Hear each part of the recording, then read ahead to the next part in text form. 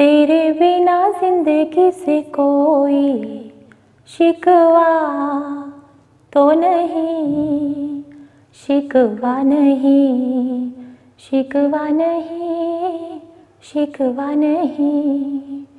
तेरे बिना ज़िंदगी भी लेकिन ज़िंदगी तो नहीं, ज़िंदगी नहीं।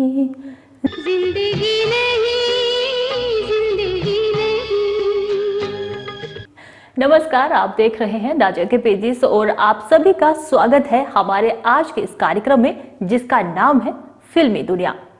तो आज हम जिनके बारे में बात करेंगे, वो है सुरों की मलिका, जिन्हें सुर कोकिला भी कहा जाता है। जी हाँ हम बात कर रहे हैं भारत की सबसे लोकप्रिय और आदरणीय गायिका लता मंगेशकर जी की, जो हाल ही में इस दुनिया से हमेशा के लिए विदा हो गई। लग जा गले। लेकिन उनकी संगीत की आवाज़ करोड़ों लोगों के दिलों में हमेशा ज़िंदा रहेगी। तो आज हम सब उन्हें श्रद्धांजलि के तौर पर उनके द्वारा गाए कुछ नगमे आपको सुनाते हैं। लता जी का जन्म 28 सितंबर 1929 इंदौर, मध्य प्रदेश में हुआ था। जब वह पाँच साल की थी, तब से उन्होंने संगीत सीखना शुरू किया। और देखते ही देखते वह भारत की मशहूर गायिका के रूप में उभर कर सामने आई थी। लता जी ने 25 भाषाओं में पचास हज़ार से भी ज़्यादा गाने गाए हैं।